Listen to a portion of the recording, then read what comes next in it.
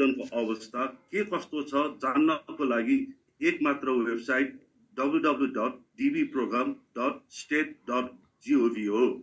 यो वेबसाइटमा गएर आफ्नो कन्फर्मेसन नम्बर राखेपछि आवेदकले आफ्नो आफ्नो डिबी आवेदनको र त्यसको अवस्थाको सम्पूर्ण जानकारी पाउन सक्नुहुनेछ। डिबीमा छनौट भएका आवेदकलाई अन्तर्वार्ताको मिति र समय कसरी प्राप्त हुन्छ अथवा सेकेन्ड लेटर कसरी प्राप्त हुन्छ? डिबीमा छनौट भएका आवेदकलाई केन्टकी कन्सुलर सेन्टरबाट इमेल अलर्ट आउँदछ। त्यसकारण दर्ता गर्ने बेलामा आफ्नो सही इमेल एड्रेस राख्नुहोला। यो इमेल अलर्टमा आवेदकको अन्तर्वार्ताको मिति र समयको जानकारी हुँदैन। यसमा केवल आवेदकले अन्तर्वार्ताको मिति र समय हेर्न आवेदकले गर्नुपर्ने प्रक्रियाको बारेमा जानकारी दिन्छ। त्यसपछि डिबीमा छनौट भएका आवेदकहरूले D V website W W dot D V program dot state dot गभमा गएर आफ्नो व्यक्तिगत विवरण र कन्फर्मेसन नम्बर राखी आफ्नो अन्तर्वार्ताको मिति र समय हेर्न सक्नेछ। ध्यान दिनुहोस्। आवेदक डिबीमा छनौट भई अन्तर्वार्ताको मिति र समय प्राप्त गरे तापनि आवेदकले भिजा पाउने नपाउने निर्णय अन्तर्वार्ताको दिन कन्सुलर अफिसले मात्र आवेदक डिबीको लागि योग्य हुनु भयो भएनको निर्णय गर्दछ। दौरान आवेदकद्वारा बुझाइएका सम्पूर्ण कागज पत्रहरूको जाँच र पुष्टि गरिन्छ। त्यसैले किर्ते अथवा फ्रजुलेन्ट कागज पत्रहरू नबुझाउनुहोला। जो जसलाई जो जसले यस्ता किर्ते फ्रजुलेन्ट कागज पत्रहरू पेश गर्दछ वा झुटो बोल्दछ त्यस्ता आवेदक यो प्रकारको भिजाको लागि अयोग्य हुनेछ र भविष्यमा अरू प्रकारको भिजाको लागि समेत आजीवन कालका लागि अमेरिका जानुबाट वञ्चित हुनेछ।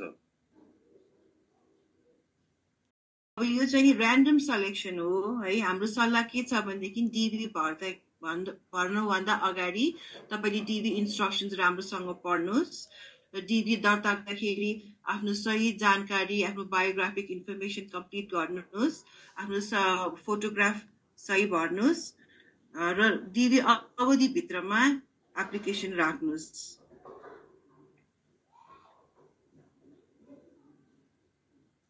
अर्को प्रश्न चाहिँ नि फोटोको बारेमा छ। यो फोटो चाहिँ नि सब्मिट गर्न किन गाह्रो छ भन्ने प्रश्न आएको छ है।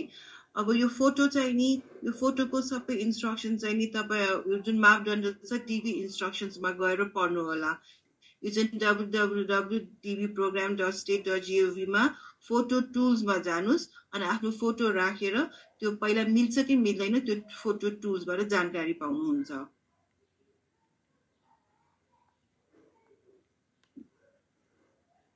अब योग्यताको यदि मेरो प्लस टू छैन म योग्यतामा कुन कुन योग्यता कामको आधारमा म कसरी योग्यता पुर्याउन सक्छु भन्ने प्रश्न आएको छ है।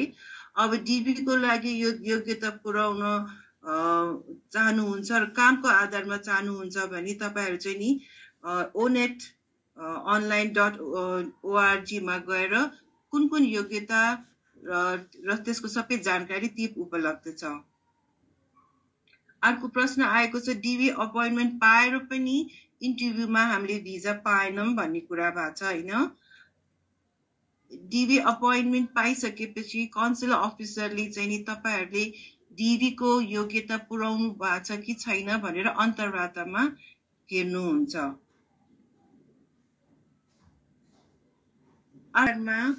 श्रीमान श्रीमतीले दुवैजनाले एप्लिकेसन गर्नु मिल्छ भन्ने प्रश्न छ। हजुर यो श्रीमान श्रीमतीले दुइटैले छुट्टै छुट्टै एप्लिकेसन गर्नु मिल्छ। यसलाई चाहिँ एकभन्दा बढी एप्लिकेसनमा गनिँदैन श्रीमान र श्रीमती दुई छुट्टा छुट्टै आवेदन हुन्। तपाईँहरूलाई टिभी पर्दामा आर्थिक सहयोग प्राप्त हुँदैन।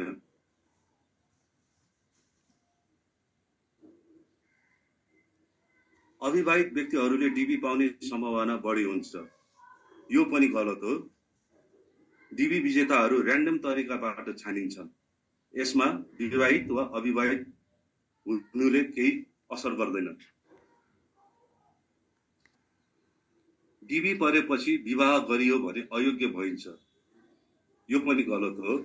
डिबी भरेपछि परिवार थप परिवारमा थप भए डिबी परेपछि परिवार थप भएमा नयाँ सदस्यको नामहरू खुलाउनु पर्छ कन्सल्टेन्सीबाट डिबी भरियो भने डिबी पर्ने सम्भावना उच्च हुन्छ। होइन? डिबी विजेताहरू ऱ्यान्डम क्रमरहित तरिकाबाट छानिन्छन्। सरकार र कन्सल्टेन्सीहरू बिच कुनै सम्बन्ध छैन। You can apply for the DV lottery and then apply later, or if you're applying for a student visa. Uh, so the adjudicating officer's concern, if you're applying for the student visa, is that you are going to go to the United States to study, not to immigrate. So um, if as long as you are able to overcome uh, that doubt, then you would be able to get a student visa, even though you have applied for an uh, for the DV lottery at some point in the past. हजुर एउटा प्रश्न आएको छ कि DB visa भिजालाई register गरिसकेपछि student visa गर्नु मिल्छ र अथवा गऱ्यो भने किन रिजेक्ट हुन सक्छ भनेको होइन। डिभी डिभीको लागि दर्ता गर्दाखेरि तपाईँले स्टुडेन्ट भिजाको लागि अप्लाई गर्नु मिल्छ र यो रिजेक्ट चाहिँ हुँदैन यो सही होइन।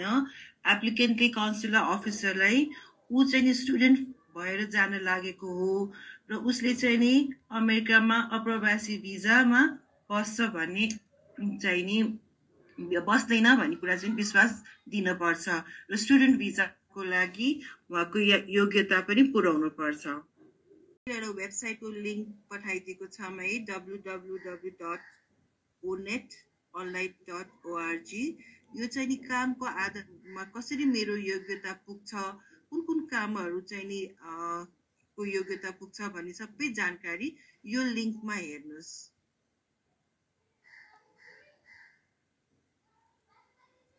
छ कि चाहिँ नि म जहाँ म विदेशमा छु भने मैले त्यहाँबाट डिबीको इन्टरभ्यू गर्न सक्छु भन्ने प्रश्न आएको छ नेपाल बाहेक अन्य देशमा छु भने। तपाईँहरू नेपाल बाहेक अन्य देशमा बसोबास गरिरहनु भएको छ भने तपाईँले तीबाट पनि डिबीको इन्टरभ्यू गर्न सक्नुहुन्छ। तर त्यसको लागि तपाईँको डाइभर्सिटी भिजाको नम्बर चाहिँ करेन्ट हुनुपर्छ र त्यो पोस्टले चाहिँ नि तपाईँको डिबीलाई एक्सेप्ट गर्नुपर्छ।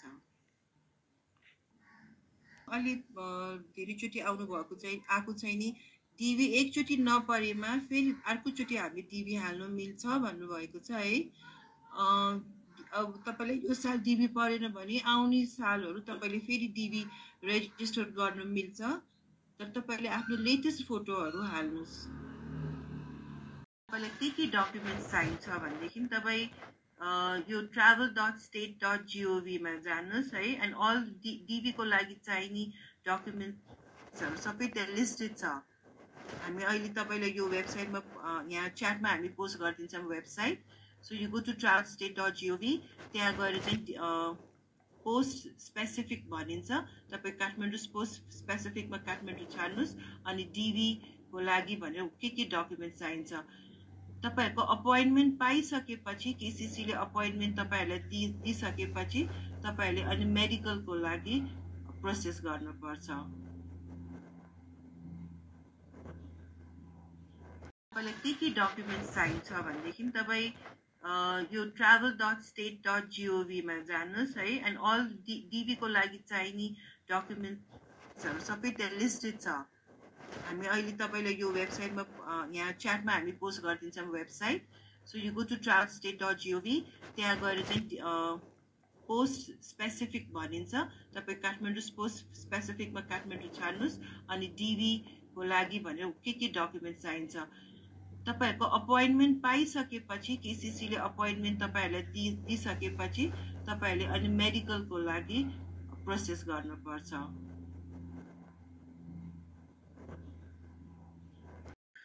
जब तपाईँको इन्टरभ्यूको समय आउँछ तपाईँको भिजा नम्बर अभाइलेबल हुन्छ तपाईँको भिजा केस नम्बर अनुसार जब करेन्ट हुन्छ तपाईँहरूले चाहिँ नि एटलिस्ट कम्तीमा दुई महिना अगाडि जानकारी पाउनुहुन्छ.